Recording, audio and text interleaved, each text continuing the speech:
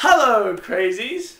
I know I'm back with another book review because this book that I just finished yesterday, I started on Saturday. I started on a Saturday and finished on a Sunday. And it is Invincible by Sharon Kenyon. She's the author of the Chronicles of Nick series. This is the second book, book two. She's also the author of the Dark Hunters novels and the Dream Hunters novels and some other another series I can't remember. Uh, Lord of Avalon, I think that's the series. She, she's a very well known author, um, mostly with adult literature. This is uh, her first uh, YA novel. Her other this is basically a YA novel. It takes it's part of the Dark Hunters novels. So it's basically following Nick Gautier, which I guess is a character in the Dark Hunters. But at, the time in Dark Hunters, he's an adult, while in here, he's a teenager. So it, it's very interesting how to do it because a lot of these characters are in her adult series. So this is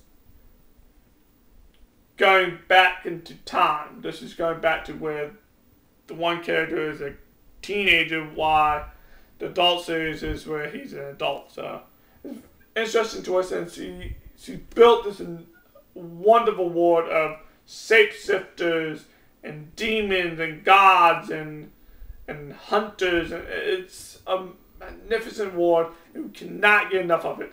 Like I said, I finished this book in two days. That's how much I loved it. And it's an easy read. I mean, the text is pretty, pretty big. Uh, the chapters are very easy flowing. And once once you get into it, you would not want to put the series down. This is the second book, uh, Invincible. The other, the first one is Infinity.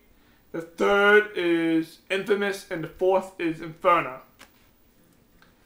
Um, I don't want to tell too much about this because I don't want to spoil it, but I will read back. So, if you don't like it, I'll read pause the video. Uh, Nick Gautier's day just keeps getting better and better. Yeah, he survived the zombie attacks, only to wake up and find himself enslaved to a ward of shapeshifters and demons out to claim his soul. His new principal thinks he's even more of a hoodlum than the last one. His coach is trying to recruit him to do things he can't even mention and the girl he's not seeing, but is, has secrets that terrifies him.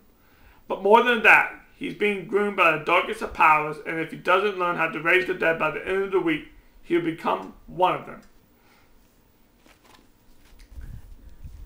That right there, by hooked you. But uh, each word is kind of play on what's to happen in the book. Like Infinity uh, is basically zombies. There's like hundreds and hundreds of zombies.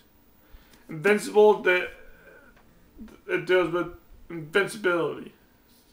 Uh, and the, the infamous, I saw infamous. The word infamous is to play a role into the book. The same with Inferno. Inferno is probably to play. He's to have to conjure fire or something. But I, I do like that each each word, the title of the book, is very important to the story. Um, I do love that he he's Nicholas said just he's he's a normal kid and then he wakes up and go whoa I stepped into the twilight zone and there's a lot of funny lines in this and he's very sarcastic. The main character is just oozing sarcasm so I really loved it and it's sarcastic, it's funny, it's action, it's love, it's magic, it's demons, it's everything I love in a paranormal fantasy novel, plus more. So I highly recommend the Chronicles of Nick series. I want to start reading the Dark Hunter series. Try to find like the first book in the series and start reading that. Because I guarantee you, if I love her YA novels, I probably love her adult novels. So I highly recommend uh, Sarah Kenyon and her Chronicles of Nick series and her Dark Hunters novels. Uh, I give this five, a five star book.